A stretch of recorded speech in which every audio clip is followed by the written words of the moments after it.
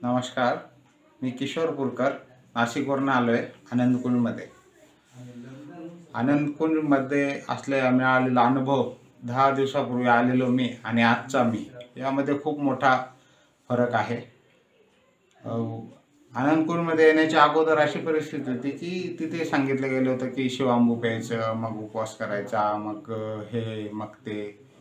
मग मी ऐकून थोडासा माझं इथे येण्याचा विचार कमी होता.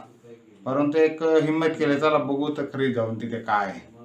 इथे ज्यावेळेस आलो त्यावेळेस ज्यावेळेस सरांनी डॉक्टर नितीन पाटील सरांनी ज्यावेळेस सगळे समजून सांगितलं की उपवास कशासाठी करायचा आहे त्याच्यानंतर शिवांबू काय आहे शिवांबूचा प्राचीन इतिहास काय आहे आणि ते कशासाठी ते ह्या सृष्टीवरचं सगळ्यात जीवनामृत देवाने बनवलेल्या शरीरातून जे काही जीवनामृत तयार होतं ते आपल्या शरीरासाठी परत वापर केला तर किती उपयोगाचा आहे?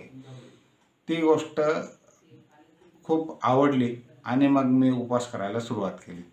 उपवास केल्यानंतर असं जाणवलं की सात दिवसाचा उपवास होता. सात दिवसामध्ये शिवांबू आणि पाणी याच्या व्यतिरिक्त काहीही नव्हतं शरीरामध्ये पण तरीसुद्धा एक वेगळी एनर्जी एक दोन तीन दिवसानंतर एक वेगळी एनर्जी यायला सुरुवात झाली. त्याचबरोबर योगासन प्राणायाम जे काही महत्त्वाचे टेक्निक्स आहेत ध्यानचे टेक्निक्स आहेत ते अतिशय खूप सुंदर पद्धतीने सरांनी शिकवले. आणि आज मी तुम्हाला सांगतो मी खूप खूप आनंदी आहे खूप समाधानी आहे. इथे जे काही शिकायला मिळतं इथं ज्या पद्धतीने शिकवलं जातं ज्या पद्धतीने सेवा केली जाते ही पद्धत आम्ही आजपर्यंत अनेक ठिकाणी गेलो पण तिथे बघायला नाही मिळाली. हा सेवाभाव तिथे बघायला नाही मिळाला असं वातावरण नाही मिळालं. तुम्हाला सुद्धा जर कोणाला करायचं असेल तर खरोखर इथे फक्त आजारापासून मुक्ती हा उद्देश नाही आहे तर माणूस विचार जुन्या असलेल्या काही गोष्टी असतात ज्या जु जुन्या भांडणांच्या कुरापती असतात किंवा अनेक जुने विचार माणसाने मनाची गाठी बांधून ठेवलेले असतात. कोणाच्या विरुद्ध घरातल्यांचा कला असतो अनेक गोष्टी असतात. त्या इथे सगळ्या वाश होऊन जातात. अतिशय खूप सुंदर मजा आली आणि सांगताना खूप आनंद होतोय की आज दहावा दिवस आहे पण इथून आम्हाला जाऊ वाटत नाहीये.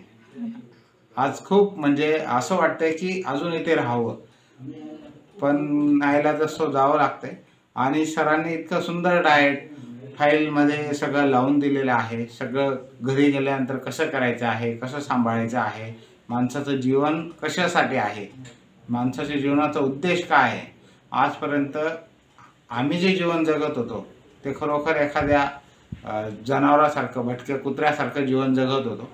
पण आज जो जे जीवनाचा आनंद मिळालेला आहे या दहा दिवसामध्ये तो खूपच सुंदर आहे.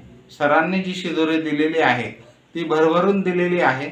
पण कुठेतरी आमची पात्रता कमी आहे. आम्ही ते परिपूर्ण घेऊ शकलो नाही. पण निश्चितच आम्ही पुन्हा इथे येऊन पुन्हा शिबिर करून पुन्हा ती प- परिपूर्णता करण्याचा प्रयत्न करू. मी खूप जबरदस्त आहे. मी आनंदी आहे. धन्यवाद.